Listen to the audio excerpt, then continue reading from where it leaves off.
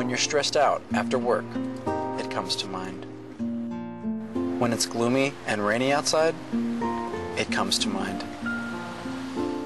When you miss your friends, it comes to mind.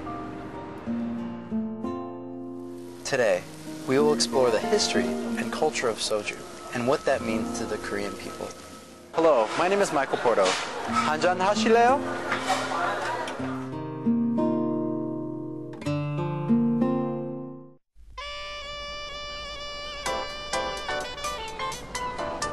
Uh, I work for SoulGrid.com, and my main role for SoulGrid is to report on alcohol in Korea. Something that we've really wanted to do lately is report on high-class soju bars and different types of venue that serve traditional Korean drinks. So right now we're at the Han River, and something I really like about the Han River is the fact that everyone comes out at night, and often they come out to drink. People don't drink excessively. They just drink to relax, have a good time, and then they go home. You good? Yeah, all right, we're on our way. Thanks. So, one of my friends is going to meet us at a soju bar. So, let's go there now.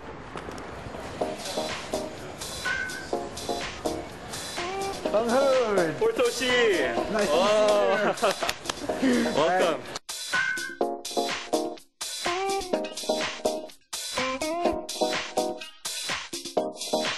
So soju in the past few years has really been changing. Before, it was mostly just a men's drink, but now a lot of women are starting to drink it. And it's basically because of the proof of the alcohol has been lowered.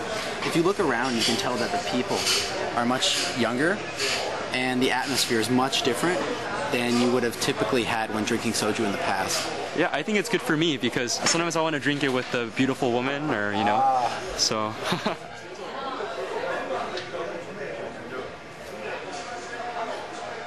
Is, is this samgyeopsal?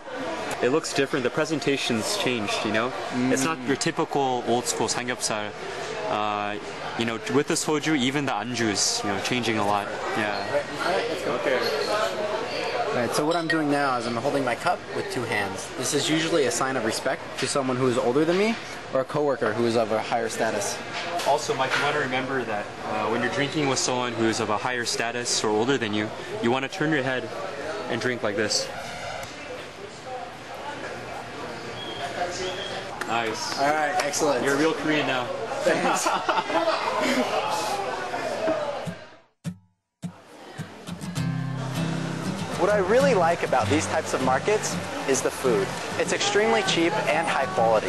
Back in the old days, Korea was not industrialized. It was basically a farming economy. People would work in the fields and then be very tired. What would they do after they worked? They would drink soju. What's really unique about this place is the camaraderie it brings.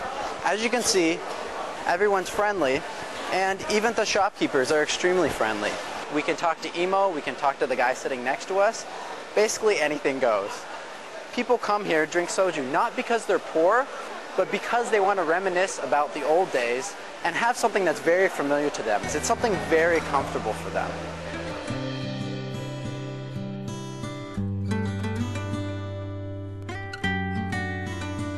If you can make friends with soju, you can make friends in Korea. Because it's a tool to bring people together. Soju is not just a drink. It's more than that. It's something that isn't unique to Koreans anymore. It spans all continents across the earth. So it can really connect other people. And especially in Korean society, this is very important. If you want to connect with Koreans and understand Koreans, you need to understand soju and what that means to people.